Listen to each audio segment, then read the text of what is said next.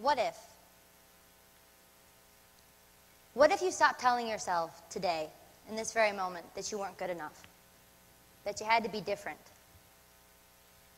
What if you embraced who you were in this very moment as you were? What would that do for your life?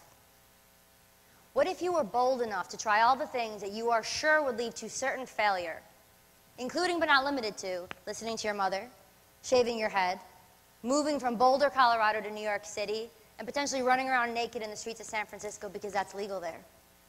So I learned.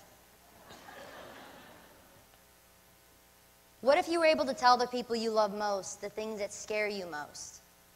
The things that if you knew today was their last day on earth, you would only hope you had the gumption to share with them. What would you start doing today? And what if you embraced honesty instead of turning from it so that you could have the most honest conversations of your life, the ones that are necessary and utterly fundamental for success? Because success is the art of getting out of your own way. What if? I'm sure a lot of you guys went to school and you know you grew up similarly to me. I grew up in Buffalo, New York, and I was really about, I mean, I haven't grown much. I was about this tall, right? I was like two feet. I'm thrilled at the thought of going to kindergarten. I had really curly hair, was in love with Little Mermaid, hair down to my, way past my butt. And I'm sitting for the bus, or I'm standing waiting at the, you know, at the end of my driveway with my Little Mermaid backpack, and I'm thrilled. I'm going to a place that embraces ideas so I'm told.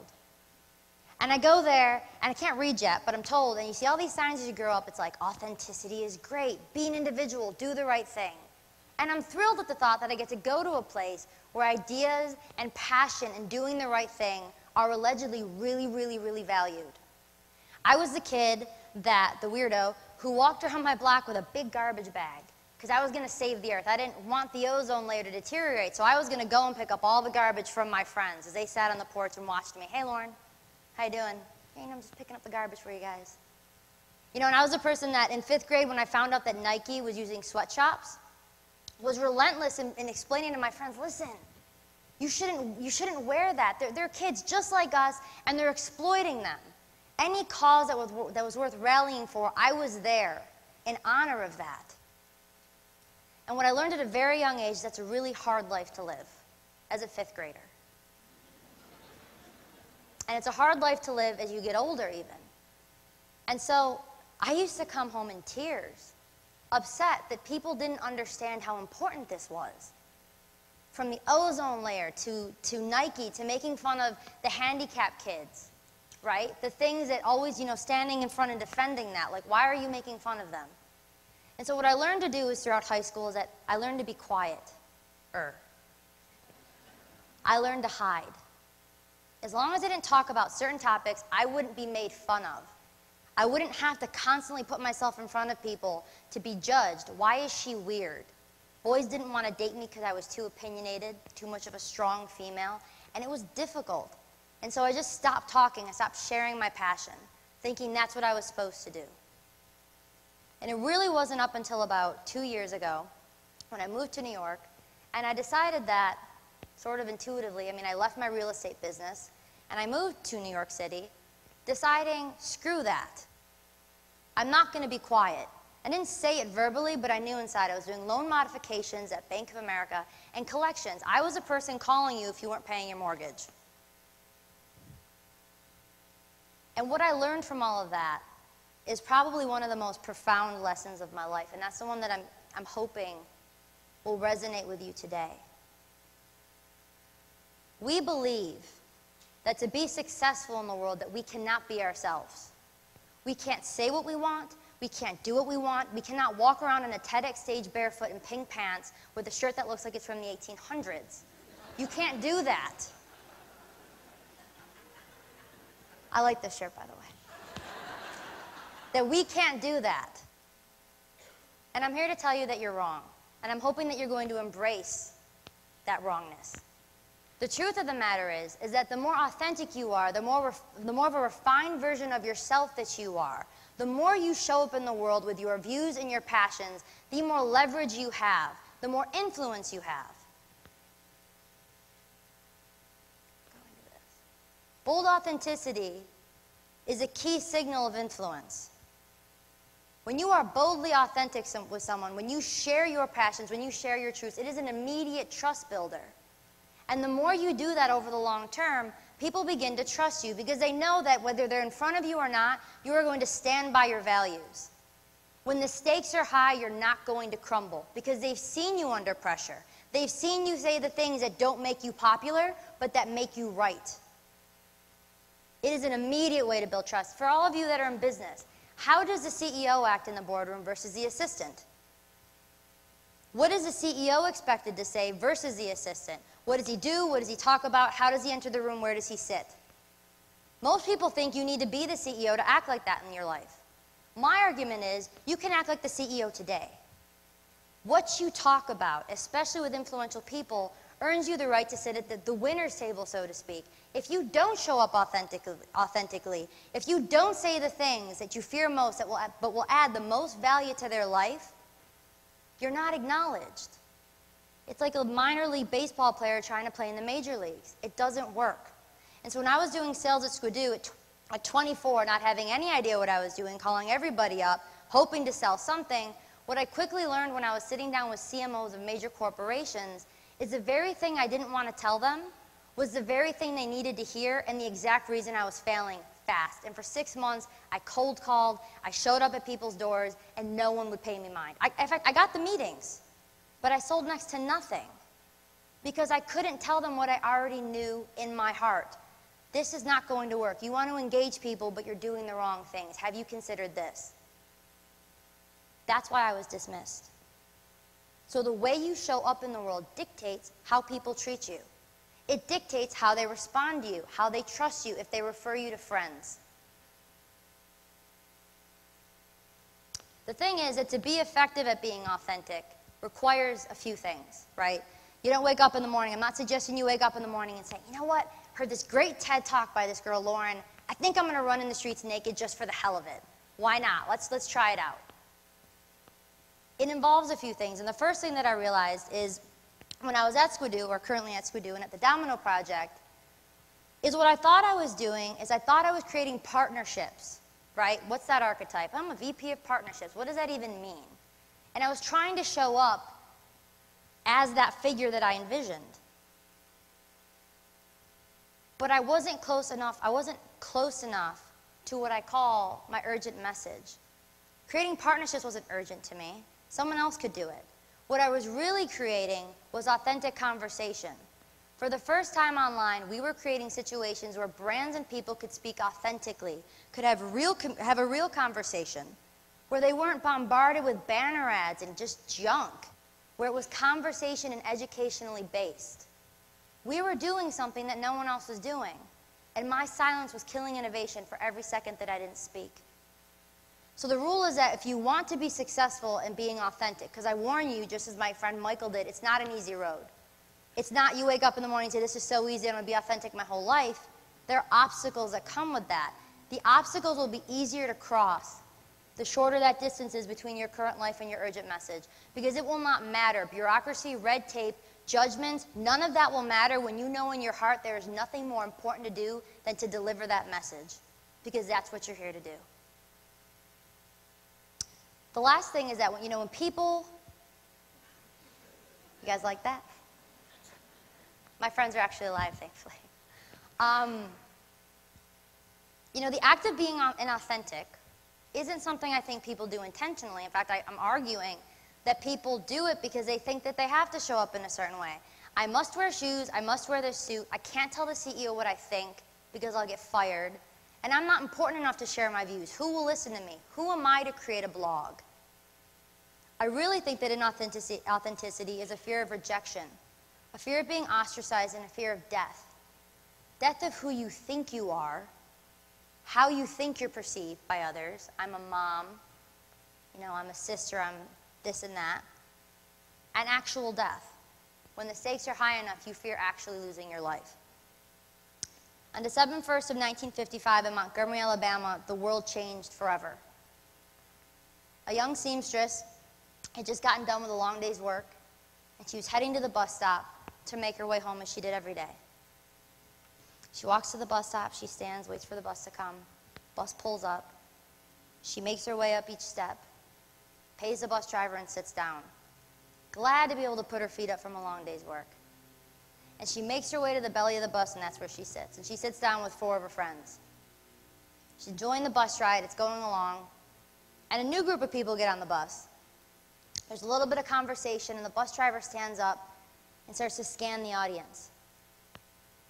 And he looks at the young seamstress and he looks at the four people around her, and he says to them, Listen, you need to go to the because in those days, in 1955, racial, racial segregation was legal. And the fact of the matter was that the young seamstress, Rosa Parks, was black. And that just, that wasn't acceptable. It was legal for them to say, Rosa, you need to go to the back of the bus. You are a second class citizen. And because these four gentlemen that just got on the bus, they're white. And that makes them superior to you. So you need to go to the back of the bus. Please and thank you. I envision the man hovering over Rosa looking at her, sweat beading up on his forehead and perspirating under his arms. Maybe he too had a long day's work. Maybe he too was just enforcing the rules. Maybe he didn't even believe in it. Frustrated that this obstinate woman would not get up. And the people in the bus staring at her, wondering, fearfully, thinking, you know, images of the Klan in their head, what is her outcry going to cause? Fear for her family, her kids, and future generations, because that's how serious it was. That's how high the stakes were. And others frustrated that for sure their dinner was going to be late, right? Because they're on the bus. And now, because of this woman's protest, they're not going to be home on time to eat dinner with their families. What Rosa did and what came of that is epic. It's what we all learn in school. She sat so that others could stand. Thousands of leaflets, she was released that night, thousands of leaflets were passed through the streets telling everyone about what was now a citywide protest to boycott the public transportation system. Thousands of leaflets. And for 381 days, people stood because Rosa sat. So the valor was not so much in the act of sitting, it was that they continued to sit every moment in every single moment for 381 days. Has anyone been to Alabama to know how hot it is?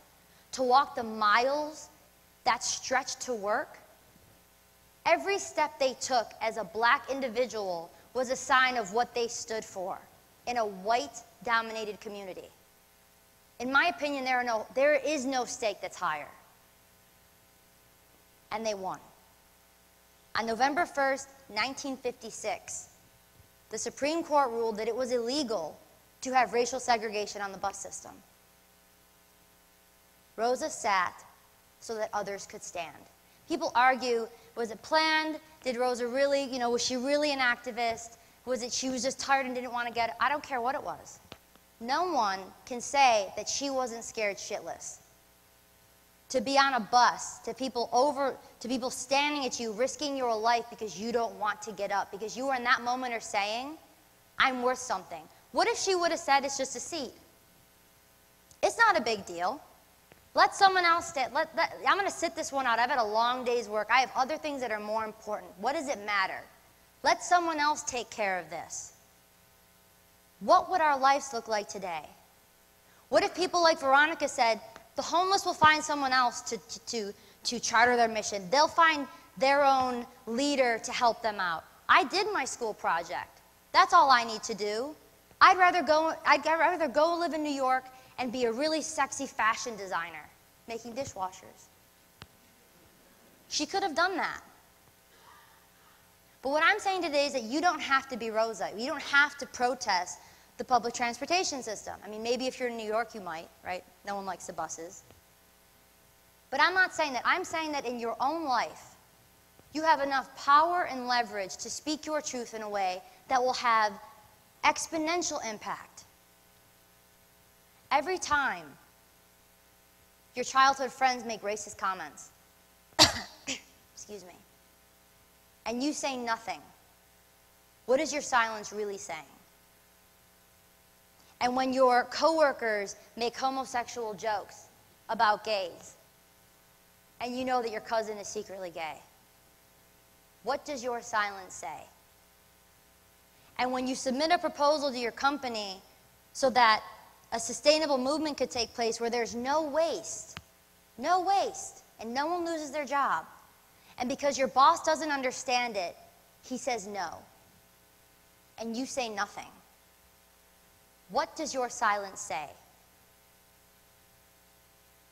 I'm here to tell you today that you are all on the brink of influence.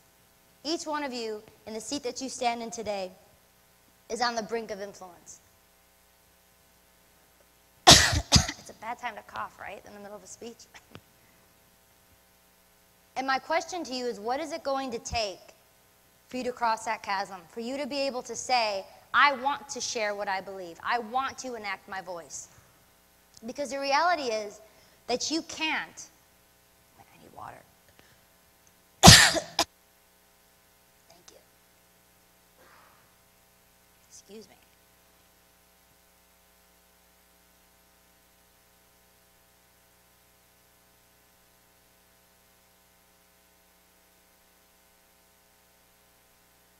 It's the absolute worst time to get a cough when you get a tickle in your throat, and that's exactly what I have. Excuse me. The reality is that you can't move upwards in life unless you're willing to have, unless you're willing to talk about the big fat elephants in the room, so to speak. You can't pierce the bubble that you sometimes find yourself in unless you are willing to have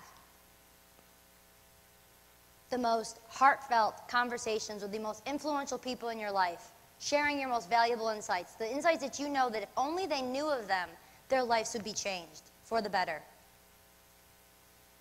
Being boldly authentic is an elevator to the top for those bold enough willing to take that journey. Excuse me. For those of you willing to take that journey. As Rosa Parks said, the only thing that bothered me was that we waited so long to make this process. So I say go. Share the thing with the world that's going to change it 10 times over and stop holding back. Stop pretending that you're doing it for them, that you're afraid you're going to hurt their feelings, that you're going to be disliked. Because the reality is that you're afraid. And that's okay. I'm scared too. But it is not okay to hold back your genius. The very thing that only you understand, the thing that runs through your veins, the thing that you were put on this earth to deliver. That only you can do. So go and let your voice be your guide. Thank you.